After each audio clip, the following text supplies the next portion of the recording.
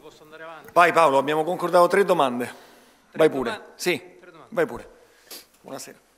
Fonseca, una serata molto grave dopo il derby. Eh, si è rotta la Roma, secondo lei? No, eh, e, e questa partita ha dimostrato che non è, non è così.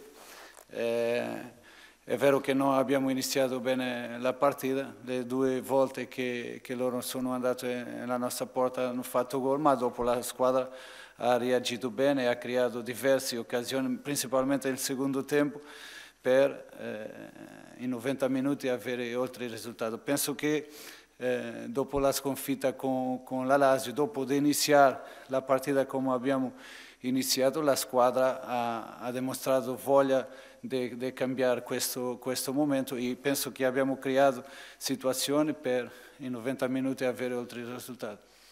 Due gol in dieci minuti, al quinto e al quindicesimo, ricordano un po' l'andamento della partita con la Lazio. Eh, questi approcci alla partita così eh, eh, distratti, superficiali, sono un segnale pericoloso? È un momento de, della squadra, della sconfitta che, che con la Lazio che è stato pesante e che mi sembra che eh, tutto succede in questo, in questo momento, eh, ma come ho detto eh, la squadra ha reagito bene, ha reagito con voglia di, di cambiare eh, questo e penso che, che onestamente abbiamo meritato finire il 90 minuti con tre risultati. Il Milan ha comprato due giocatori in questo mercato invernale, ne sta per prendere un altro.